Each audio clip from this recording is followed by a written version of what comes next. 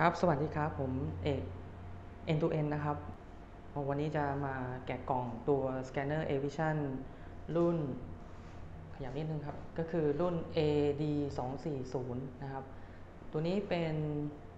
สแกนเนอร์ที่รองรับขนาดกระดาษ A4 นะฮะแล้วก็ตัวนี้เป็นรุ่นใหม่ที่เพิ่งออกมาปี 1515 นี้นี่เองถือโอกาสมาทำการแกะกล่อง ตัวสแกนเนอร์ตัวนี้เพื่อให้ดูว่าข้างในอุปกรณ์ตัวนี้มีอะไรบ้างนะครับ ขออนุญาตหมุนกล่องนะครับ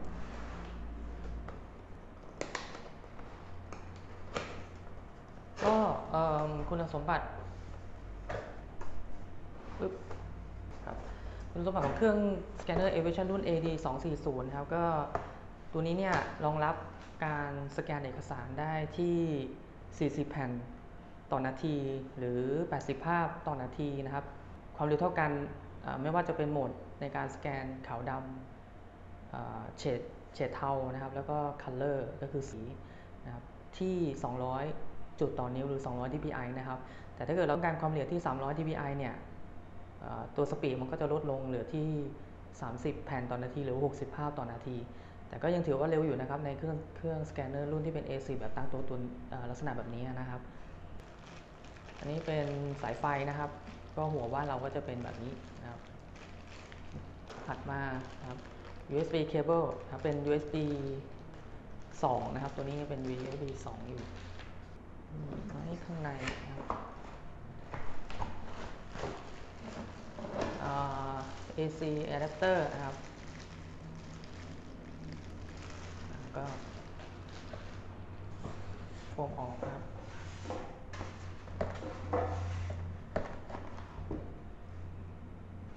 โอเคนะคร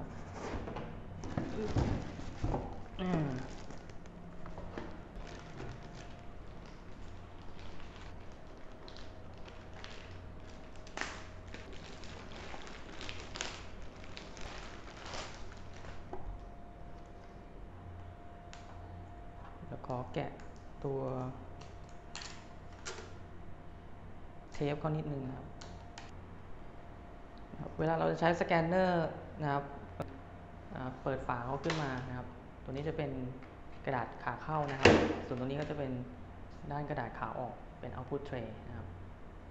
ผมก็ขยับนิดนึง